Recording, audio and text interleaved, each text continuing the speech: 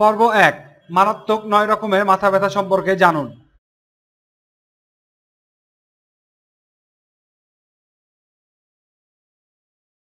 ঘুম থেকে উঠেই মাথা ব্যথা শুরু, এমনকি ঘুমাতে যাওয়ার আগেও।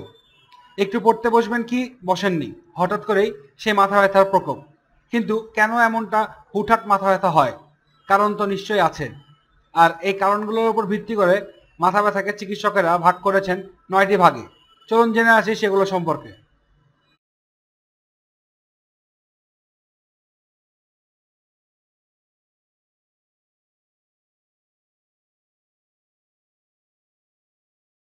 চিন্তাজনিত মাথা ব্যথা।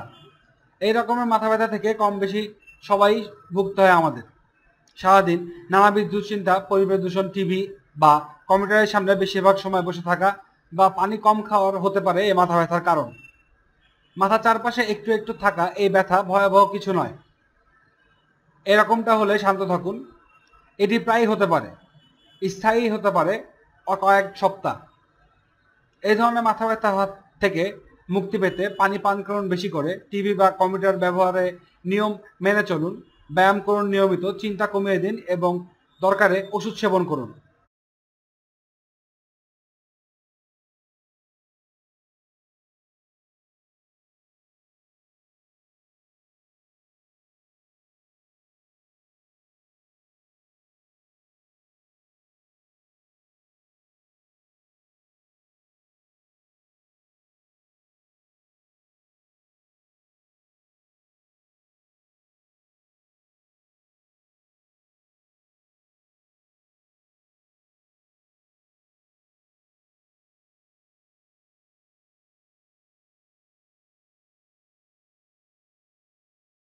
মাইগ্রেনের ব্যথা।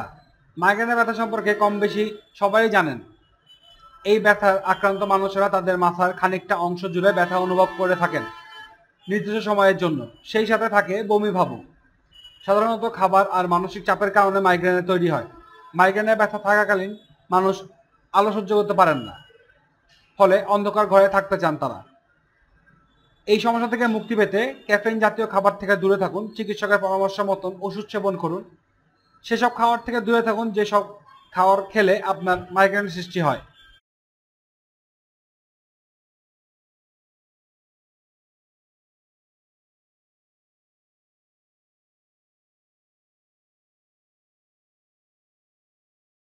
ট্রিগ্যামিনাল নিউরালজিয়া আমাদের মুখের উপর দিয়ে চলে যাওয়া স্নায়ুগুলো এই ধরনের ব্যথা অনুভব করি আমরা।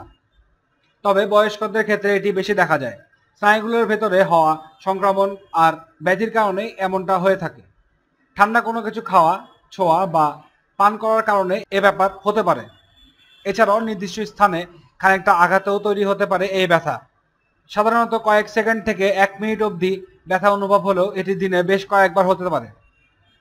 এই ব্যথা মোকাবেলা করতে ইঞ্জেকশন বা এ ধরনের কিছু নেওয়ার ক্ষেত্রে সতর্ক থাকুন, ওষুধ সেবন করুন ব্যথা উপদ্রবকারী খাবার ও পানীয় থেকে দূরে অবস্থান করুন।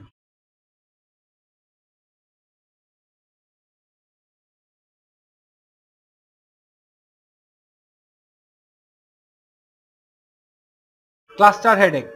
মাইগ্রেন নিউরোলজিয়া বলে অনেকে মনে করলেও আসলে এটি আরেক রকম, অন্য রকমের মাথা ব্যথা। যার শুরুটা হয় ত্রিশ বছর বয়সের পর পর আবার পঁয়ত্রিশ বছর এসে গেলে এর প্রকোপ নেই বলেই ধরা যায়। নারী পুরুষ ভেদে এর আনুপাতিক সংখ্যা অনেকটা পাঁচ অনুপাত তিন। অতিরিক্ত মদ্যপান আর ধূমপানের ফলে হয়ে থাকে ব্যাপারটি।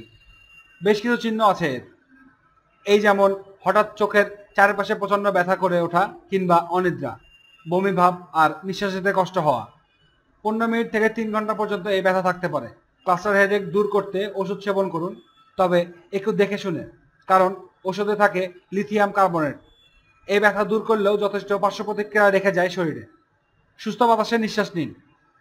নিয়মিত রক্ত পরীক্ষা করুন ও থাইরয়েড ও কিডনি ঠিকভাবে কাজ করছে কিনা দেখুন।